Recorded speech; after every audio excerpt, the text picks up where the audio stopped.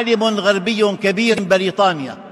قال أنا لا أصدق أن يستطيع العالم الإسلامي اللحاق بالغرب على الأقل في المدى المنظور لاتساع الهوة بينهما.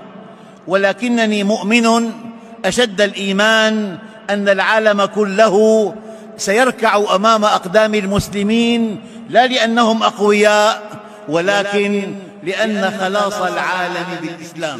لأن خلاص العالم بالإسلام. لأن خلاص العالم بالإسلام.